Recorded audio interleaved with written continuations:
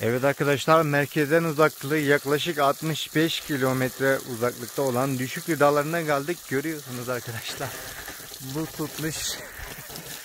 Böyle bir şey görmedim daha, daha önce. Yani şuraya bir bakar mısınız arkadaşlar?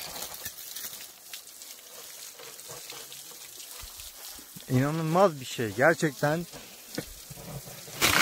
inanılmaz bir şey.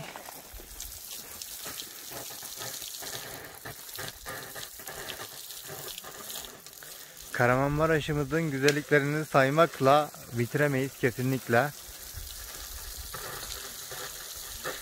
Şuraya bir bakar mısın buzlara? Topaş'ta geldik bu arada arkadaşlar bilginiz olsun. Kar lastiğimiz var.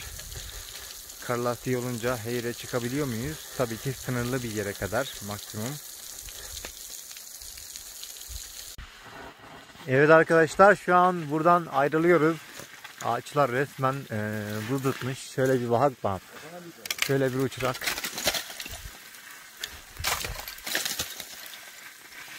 Şöyle bir şunu bir alak bakayım ha.